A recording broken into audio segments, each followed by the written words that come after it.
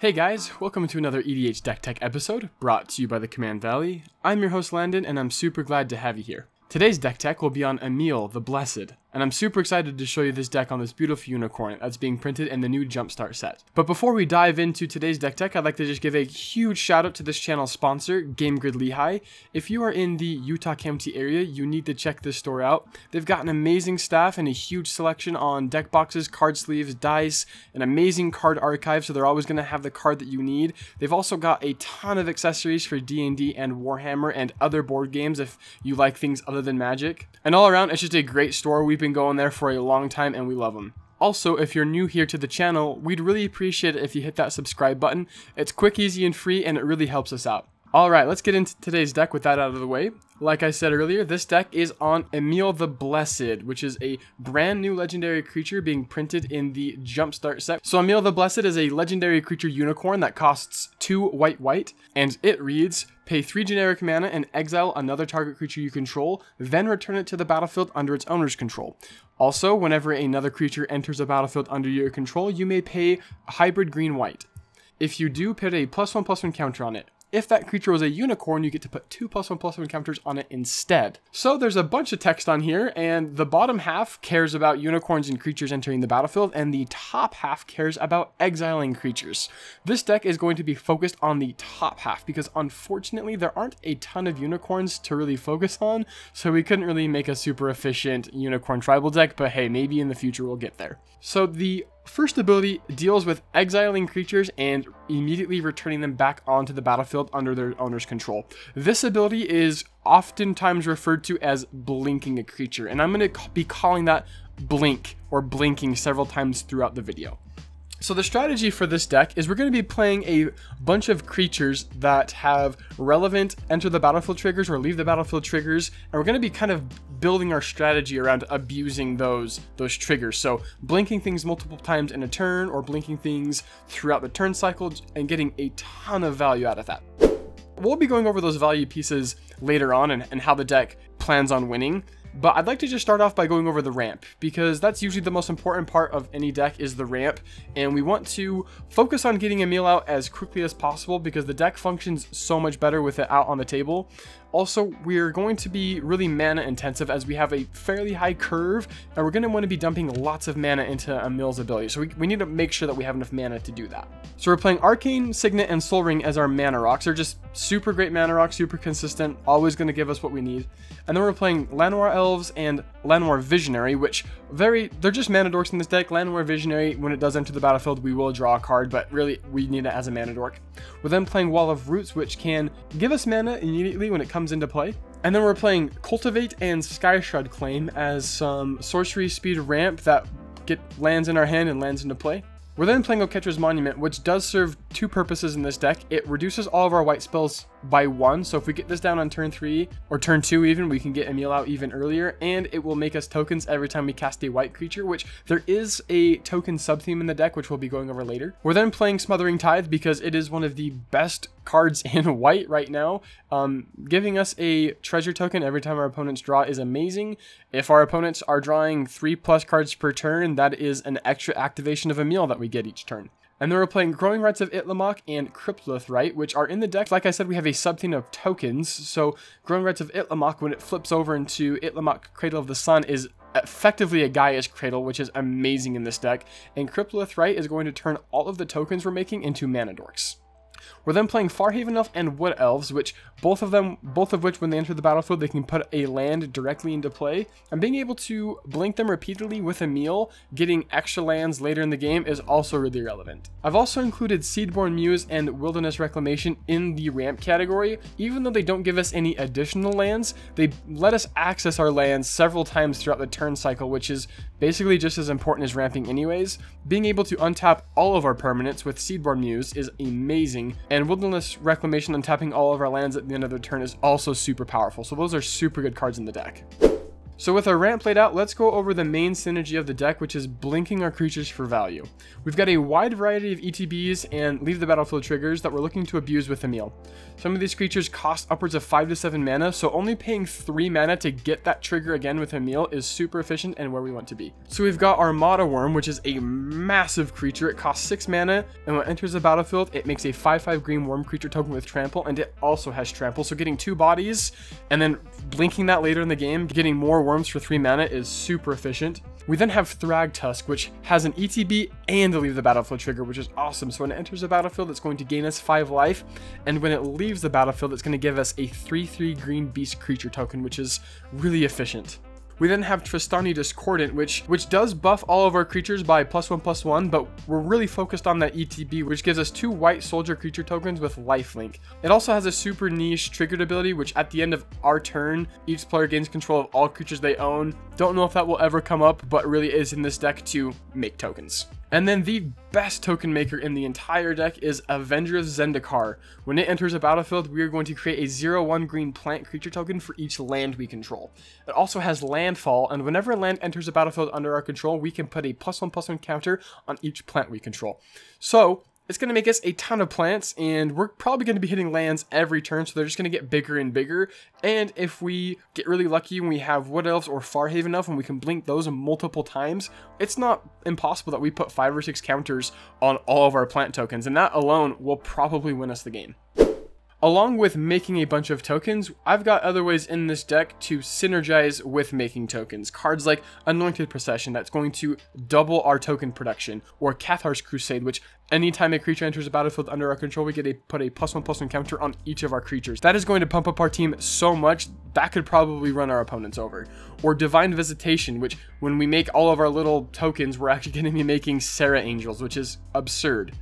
We've also got a bunch of X spells like Secure the Waste, White Sun Zenith, or Martial Coup, which for however much mana we pump into it, we're going to be getting that many tokens as well, which is super good in this deck. We've also got Blessed Sanctuary, which has some awesome synergy with our commander. The first part of it reads prevent all non-combat damage that would be dealt to you and creatures you control. That stops our creatures from being blown up by, you know, pyroclasms or blasphemous act, which is awesome. But it also says whenever a non-token creature enters the battlefield under our control, we can create a 2-2 white unicorn creature token, which if we have some extra mana lying around, we can give each of those unicorns uh, two plus one plus one counters with Emiel's second ability. Next up, we have Mimic Vat, which doesn't make a ton of tokens on its own, but throughout the game, there's going to be board wipes, and we can steal some super spicy creatures from our opponents, or maybe we can exile our own Avenger of Zendikar underneath it when it dies, and we can be making Avenger of Zendikars every turn, which is nuts. We're also playing Skullclamp, which I've included in the token synergy area because for all of these little 1-1 tokens that we're making, Skullclamp basically becomes draw 2 cards for 1 mana. So Skullclamp is a basic auto-include in any token making deck. In addition to ETB triggers that make us tokens, we've got some other just really good ETB just value blink effects. So cards like Acidic Slime, which when it enters a battlefield, we can destroy an artifact, a land, or an enchantment, which that flexibility is awesome. And being able to blink this several times can be super backbreaking if we want to be mean and start blowing up our opponent's lands. I would start with destroying all the artifacts and enchantments before I get to that point, but that is also a possibility. We've also got Angel of Grace, which is super cool. When it enters the battlefield until end of turn, damage that would reduce our life to less than 1 reduces it to 1 instead. So this can be basically a trump saving card. If we're about to die, if somebody swings out at us, we can flash this in, keep our life total at 1, and we could probably blink this a bunch to just kind of keep us at that 1 life total but not losing. So that's it's a really good card in the deck. We then have Cavalier of Dawn, which is also another backbreaking removal piece like Acidic Slime. When it enters a battlefield, we can destroy one non-land permanent, and its controller gets a 3-3 colorless golem creature token. So it's kind of like a Beast Within that we can basically abuse and blink several times. It also has a death trigger. When it dies, we can return an artifact or enchantment from our graveyard to our hand. We've got some spicy artifacts and enchantments in the deck, so that's also not something we want to look over. We then have the good old humble Elvish Visionary, which when it enters the battlefield, we draw a card. Sometimes we'll be really willing to pay that 3 mana with Emiel just to draw a couple cards, so super good card in the deck. We then have Eternal Witness, which is probably one of the best cards in green. When it enters the battlefield, we can return any card from our graveyard to our hand. We then have Reclamation Sage, which when it enters a battlefield, it can blow up any artifact or enchantment. Along with the Elvish Visionary, we're also playing Wall of Blossoms, which is essentially the same card. When it enters a battlefield, it's going to draw us a card. Next up, we have Sun Titan, which when it enters a battlefield or attacks, we can return target permanent card with converted mana cost 3 or less from our graveyard to the battlefield. So this is super useful if maybe one of our blink pieces like died earlier on in the game, maybe we need to get an Eternal Witness back to get something else back from our graveyard, or we need to get Reclamation Sage back into play to blow up a problematic artifact or enchantment. Whatever it is, Sun Titan is going to have tons of targets for us to hit. We then have Village Bellringer, which when it enters a battlefield, we get to untap all creatures we control. So what we can do with this is maybe we've had to completely swing out an opponent to take them out, and we don't want to be left super vulnerable. So what we can do is we can blink Village Bellringer to untap all of our creatures, essentially giving our entire board pseudo vigilance. So we don't have to feel so bad about swinging out or tapping out to take out another opponent or to get through with some attacks. Next up, we have Knight of Autumn, which has three different modes we can choose from when it enters a battlefield. We can either put two plus one plus one counters on it if we need it to be a bigger body. We can destroy an artifact or enchantment, or we can gain four life depending on our needs. I would say more likely than not, we're going to want to be blowing up artifacts or enchantments, our opponents are going to have a really hard time keeping any artifacts or enchantments on the battlefield with all of these different ways we have in our deck of interacting with them. Alright, so we don't want to rely solely on Emiel to abuse these enter the battlefield triggers, so I've included some other redundant blink effects in the deck to make sure that we can always blink our creatures. So we have Charming Prince, which when it enters the battlefield, we can choose one. We can either scry two, gain three life, or exile another creature we own and return it to the battlefield under our control at the beginning of the next end step.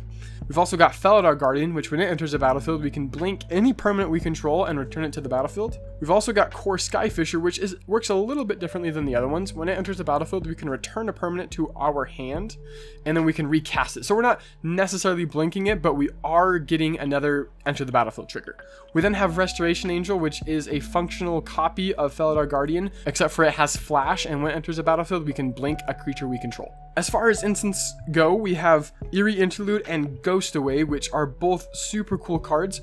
They exile any number of creatures we control and return them from the battlefield at the end of the turn. Ghostway doesn't give us the choice, Eerie Interlude does, but effectively we're probably going to be targeting as many things as we can to abuse their enter the battlefield triggers again.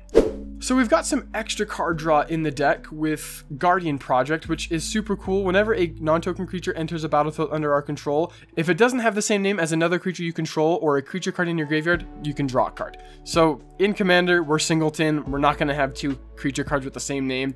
We're always going to be able to draw a card. As long as it's not a token, basically all of our creatures become Elvish Visionaries, which is actually super, super, super powerful. We've also got a card called Aid from the Cowl, which isn't technically card draw, but it is really good card advantage. It's an enchantment with the ability Revolt, which at the beginning of our end step, if a permanent you controlled left the battlefield this turn, reveal the top card of your library. If it's a permanent, you can put it into play, otherwise you put it on the bottom of your library. We are running basically all permanents except for 8 instances and 3 sorceries, so more often than not we're going to hit a permanent, and with Emiel's ability being able to be activated each turn, we can trigger Aid from the Cowl each and every turn, which is super cool. In addition to our enter the battlefield triggers that negatively impact our opponents, we do have some other ways in the deck to interact with what our opponents are doing. We've got the classic Beast Within, instant speed, destroy any permanent. Its controller makes a 3-3 green beast creature token. And we've also got Swords to Plowshares, which is just a super catch-all creature removal spell. The fact that it exiles the creature is super relevant against graveyard strategies. So in addition to Swords to Plowshares, we have another way of exiling creatures. We have Palace Jailer, which when it enters the battlefield, we become the Monarch. And when it enters the battlefield, we can exile target creature an opponent controls until an opponent becomes the Monarch. So when we become the Monarch, we lose the Monarch by somebody hitting us and doing damage to us.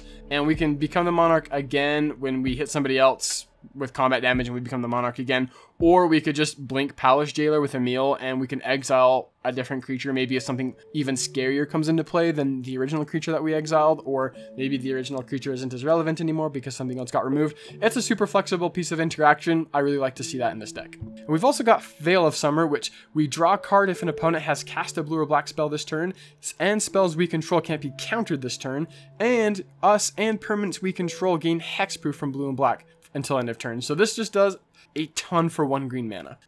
Alright, next up, let's go over the absolute win cons. I say that because it's very possible that we're just going to outvalue our opponents and rush the board with tons of permanents, tons of creatures, tons of tokens, but sometimes we're going to need just a little bit extra to close out the game. So these are kind of backup win cons, but some of them are actually pretty solid. Um, the first of which is Craterhoof Behemoth.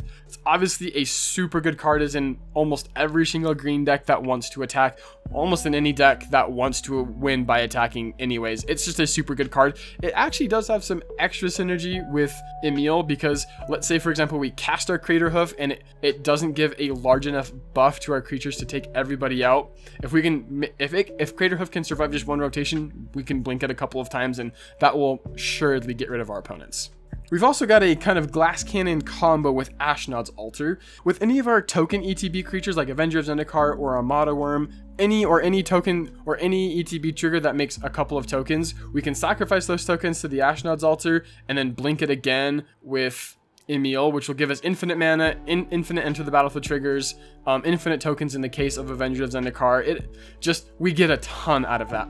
We do have some ways of sinking that infinite mana. We can sink it into any of our X spells that create tokens. Secure the Wastes and White Sun Zenith are instant speed, so we can, at the end of our opponent's turn, go infinite, make a bunch of tokens, um, and then on our turn, swing for the win.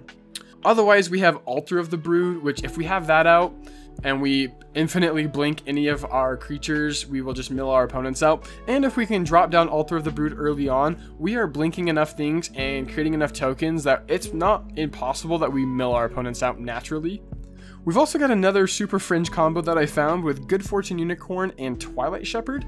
And the way that works is Good Fortune Unicorn gives all of our other creatures when they enter the battlefield a plus one plus one counter, which also is just super good in the deck. That's like basically a lord for our entire deck. So Twilight Shepherd is a flying vigilance angel with persist, and when it enters the battlefield, we get to return to our hand all cards in our graveyard that were put there from the battlefield this turn. So that is good enough on its own, even without going infinite, of getting all of our things back from our graveyard to our hand. But because it has persist, when it dies, it, if it didn't have any minus one minus one counters, it will come back into play with a minus one minus one counter.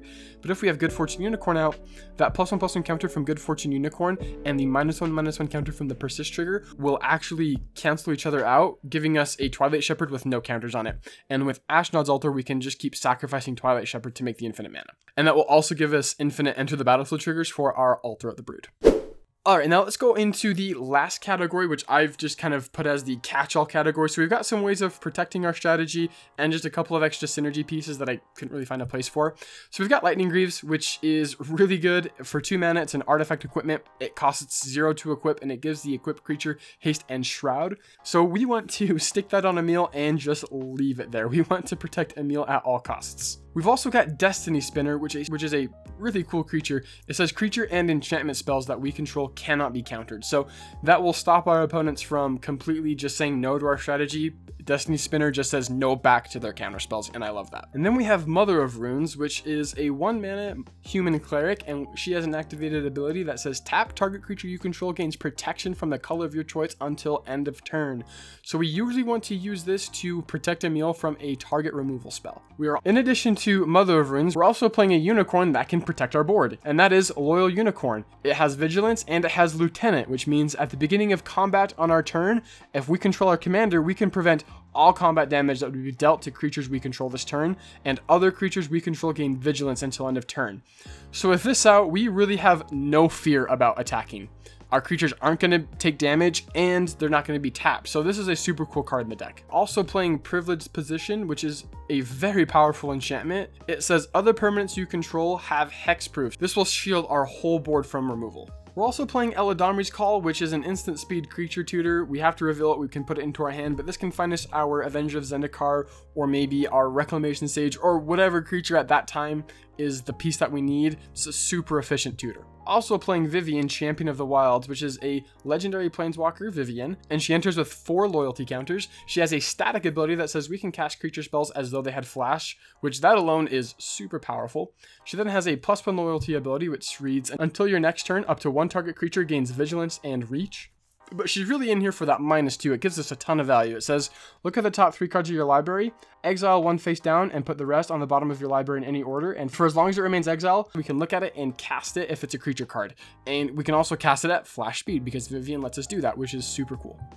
And for the mana base, we're playing 13 forests and 11 plains. We've got a pretty even split between um, white and greens. So we'll have a deck list in the show notes so you can just look over the list. But we're also playing playing a couple of tap lands with Blossoming Sands, Canopy Vista, Fortified Village, Krosan Verge, Razorverge Thicket, Selesnya Guildgate, Selesnya Sanctuary, Sungrass Prairie, Sunpetal Grove, Temple Garden, Temple of Plenty, and Windswept Heath. Realized Selesnya has a lot to do with the sun and grass. Must be something to do with plains and forests.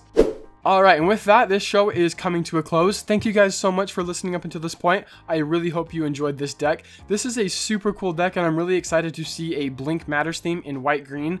Most of the Blink decks are in white and blue, but I think that this is just as viable as any of those, so this is a super cool deck. Let me know if there are any cards that I missed, or maybe cards that you would be playing, or if you've already built the deck, let's see your list. Let's see, um, compare and see what you're playing and what we're not playing. Just one more quick reminder, if you haven't hit that subscribe button yet and you like the show, be sure to do that so you don't miss our Deck Tech episodes that we release every Monday, and you won't miss our gameplay videos that we release every month.